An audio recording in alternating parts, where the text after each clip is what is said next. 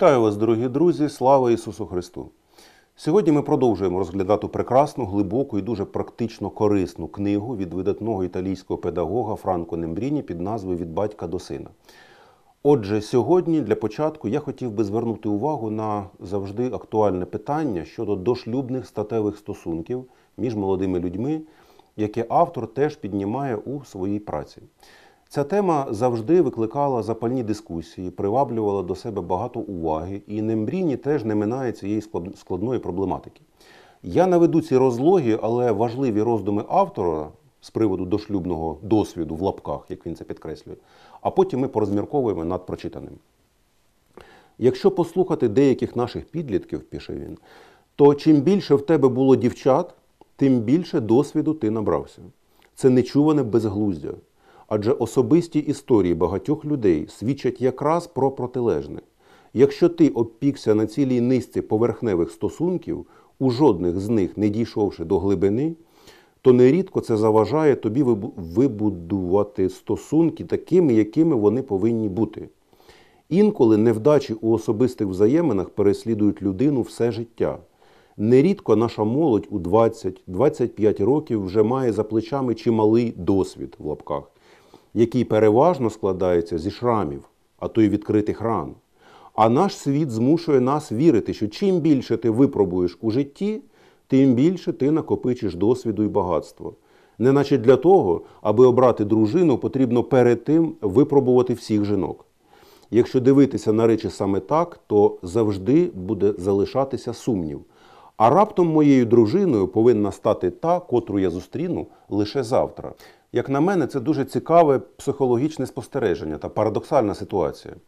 Попри чималу кількість змінюваних партнерів, подібна модель поведінки призводить не до впевненості у собі, у своєму досвіді, не до вміння майстерно вибудовувати глибокі стосунки, а до все більшої психологічної дезорієнтації та невпевненості.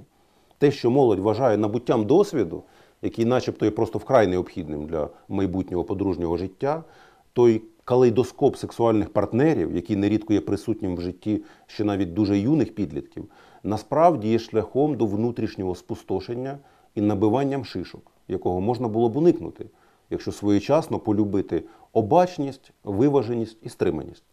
І ще у контексті ось цієї теми додам, що нам, віруючим дорослим людям, варто вміти майстерно донести та розтлумачити своїм дітям думку про те, що стриманість, вміння приборкати свої палаючі пристрасті, вміння керуватись розумом, а не примітивними інстинктами.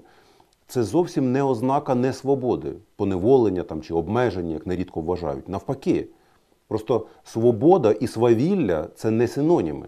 Як би це парадоксально не звучало, життя в Ісусі Христі і у відповідності до волі Божої не поневолює людину, а надає їй істинну свободу і можливість жити в органічній гармонії з оточуючим світом.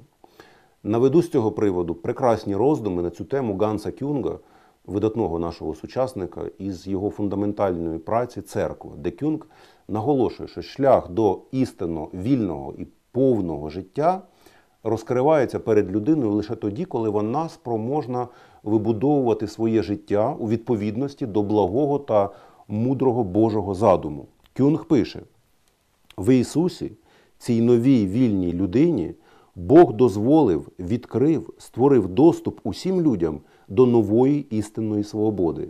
Грішна людина розглядає свою свободу як можливість розпоряджатися собою, але вона може набути свободу лише тоді, коли вона дозволить розпоряджатися собою, але не людям, вони зведуть її до стану раба, а Богу, котрий приймає людину як сина. Удавана свобода це коли людина робить те, що вона хоче. Істинна свобода це коли вона бажає того, що робить Бог. Звичайно, свобода від влади гріха не є безгрішністю, яка настає автоматично і виключає серйозну спокусу гріхом. Людина, як і колись, спроможна грішити, але вона вже не змушена цього робити. Гріх вже не тяжіє над нею. Звичайно, молоді люди, котрі чують ось подібні думки, або котрі, можливо, дивляться нас зараз, е, сприйматимуть це просто як якісь чергові, майже старечі повчання, якесь нудне моралізаторство. Але як показує практика, гіркі плоди такої надмірної активності у сфері особистих взаємин дають про, про себе знати, але вже набагато пізніше. І все це, звичайно, дуже сумно. Не менш сумною і згубною є також звичка батьків виховувати дітей в руслі того, що вони, начебто, є найкращими, видатними, непересічними, що в майбутньому житті їхніх дітей повинно оточувати все лише теж найкраще, найвишуканіше, що їхнє життя, начебто, повинно супроводжуватися лише яскравими спалахами, емоціями, враженнями тощо. Але Нембріні наполягає на тому, що варто прагнути того, щоб виховувати в дітях, як він це називає, нормальність. Я підкреслюю, не посередність, а нормальність. Тобто мова йде не про приглушення там, ініціативності, креативності, творчих порухів, не про плекання в дітях там, примітивності, заляканості, забитості, а про донесення до них думки про необов'язковість постійних яскравих емоційних спалахів щодня.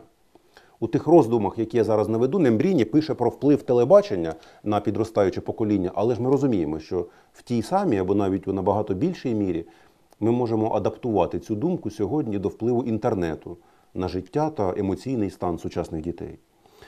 Мені здається, необхідно виховувати в дітях нормальність, адже ті зразки, які прививає нам телебачення, створюють ілюзію, буцімто все життя складається лише з яскравих спалахів. У світі, де від кожного вимагається щось видатне, де потрібно бути успішними, гарними, модними, нормальність сама по собі здається чимось незвичайним. Нещодавно із класом моєї доньки ми їздили на пікнік, і нас зібралося 90 чоловік. Цей день був абсолютно винятковим, і при цьому ми не робили нічого надзвичайного. Ця подія сприймалась нами як виняткова, оскільки ми вже відвикли від простоти. От згодьтесь, наскільки прості, але дуже мудрі і влучні слова та спостереження. Тільки та людина, котра хоче завдати надзвичайної шкоди своїм дітям, може розповідати їм про те, що їхнє життя повинне містити в собі якісь постійні несамовиті сплески, шалені враження. Тільки людина, котра насправді не опікується майбутнім своїх дітей, може без упину транслювати їм ідею про те, що вони особливі, виняткові, не такі, як інші, і так далі. Ось така риторика сама по собі закладає динаміт під майбутнє дитини. Така модель виховання закладає фундамент для майбутніх тотальних розчарувань, конфліктів із реальністю, невдоволенням собою, неврозів і так далі. Адже згодьтесь, що життя більшості от нас з вами складається з чого? Із достатньо розміреного, спокійного плину подій та вражень, а не з якихось постійних там екстремальних, ефектних, приголомшуючих епізодів невпинного викиду ендорфінів у мозок. Готувати дітей треба не до цього, а до спокійного, виваженого і осмисленого життя. І останнє, що я зауважу з цього приводу, це те, що подібний підхід надасть і батькам надзвичайний спокій, якщо вони усвідомлять, що їхні діти вже за визначенням є унікальними і довершеними, без будь-яких натужних додаткових зусиль. Тому що ці діти створені і подаровані нам Богом, і сконструйовані тим, хто до цього не менш майстерно сконструював увесь видимий нами всесвіт. І ось це теж є важлива ідея, на котрій варто призупинитись і розглянути її більш детально. І Нембріні, і багато інших педагогів, філософів, теологів пишуть про те, що батькам, якщо вони принаймні позиціонують себе як християни, варто зростити в своїй душі та розумі глибинне, щире усвідомлення того, що наші діти не належать нам в повній мірі, не є нашою власністю, як би прикро, дико та образливо це не звучало для когось. Наші діти це дар, це той безцінний скарб, коштовний дарунок, чи то навіть залог, якщо хочете, який Бог вручає нам. Для чого? Для тимчасового нагляду, виховування, е, плекання. І за те, наскільки турботливо, дбайливо ми доглядали за цим скарбом, наскільки ми його примножили і розвинули, ми безумовно дамо відповідь тому, хто нам його вручив та довірив. Кожен із нас названий батько, тому що наші діти це не наші діти. Через хрещення ми довіряємо їх церкві, щоб відкрилася істина їхнього буття. Вони не наші діти, але діти істини, діти Бога. Апостол Іоанн говорить, що ми насправді діти Божі. Але якщо людина стверджує, що її діти діти Божі, то вона повинна зробити всі належні висновки. Вона повинна визнати, що вони не належать їй. Я розумію, що ця ідея дуже непроста для сприйняття і може викликати у багатьох внутрішній супротив, але для людини, яка не імітує свою релігійність, а має щиру віру в Бога, ось все це вище сказане є абсолютно очевидною і прописною істиною. Тепер поглянемо на прекрасні і дуже чесні роздуми Нембріні про те, чи гарантує поважний вік наявність мудрості. Чи обов'язково сивочолий старець є носієм житейської мудрості, багатого досвіду і воістину такого глибокого розуміння життя? Адже для багатьох і досі старість і мудрість є синонімами. Хоча, як ми зараз побачимо, все зовсім не так просто.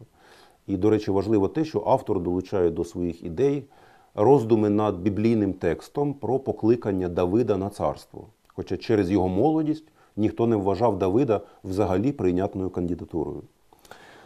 Можна постаріти і умудритися, а можна постаріти і заскніти. Не факт, що з віком приходить мудрість. Може відбутися і навпаки.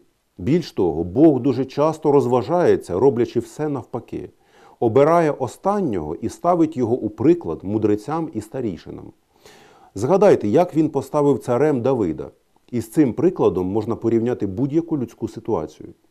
Пророк йде до отця Давида і просить того показати йому своїх синів. Той підзиває їх, а пророк говорить: ні, не цей, і не цей, і це теж не він, і це не він. А вони точно всі тут? Так, всі, окрім останнього. Він там десь порається біля овець, але яка в ньому важливість? Поклич його. Дитиною, котра поралася біля овець, котру батько навіть не приймав до уваги, був Давид. Батько навіть не звертав на нього уваги, представляючи своїх синів пророку, і все ж таки саме він став царем. У житті, дякувати Богові, так і відбувається. Я дозволю собі дещо розвинути цю ідею автора, але перед цим скажу, що у Біблії нерідко говориться про повагу до старості, що поважний вік дійсно передбачає пошану з боку молоді через притаманний літнім людям глибокий досвід. Але питання у тому, чи завжди це так? Чи при зустрічі з будь-якою літньою людиною ми повинні чекати е, богомудрих настанов і порад? І зараз ми побачимо, що все не так однозначно. Якщо Нембріні згадав ось біблійну ситуацію про покликання Давида на царство, то я дозволю собі навести слова із книги Псалмів, авторство яких традиційно приписується тому ж таку таки Давиду. Давайте поглянемо на 99 і 100 вірші найбільшого за об'ємом 118-го псалма, де автор адресує Всевишньому наступний подячний вигук. Я став розумнішим за всіх учителів своїх, бо я розмірковую над откровеннями твоїми. Став я мудрішим за старців, бо дотримуюся заповітів твоїх. І щоб ви не сказали, що все це надто якісь зухвалі і нескромні твердження, я також не можу не згадати ще більш промовисті і однозначні слова зі старозавітної книги Іова, де один із персонажів ділиться своїм баченням щодо цього питання і спростовує стереотип про обов'язкову наявність істинної мудрості у будь-якої людини, яка просто тривалий час живе на цій землі. Дух у людині і подих Вседержителя дає їй розуміння. Не багаторічні тільки мудрі, і не старі розуміють правду. Ще раз підкреслюю, що все це не санкціонує зневаги до літніх людей. Про це категорично не може бути й мови. Але правда полягає в тому, що наявність сивини сама по собі ще нічого не гарантує. У житті немає нічого, що відбувається автоматично і за інерцією. Тому ще раз повторю одне з моїх найулюбленіших прислів'їв. Мудрість приходить із роками, але інколи роки приходять самі.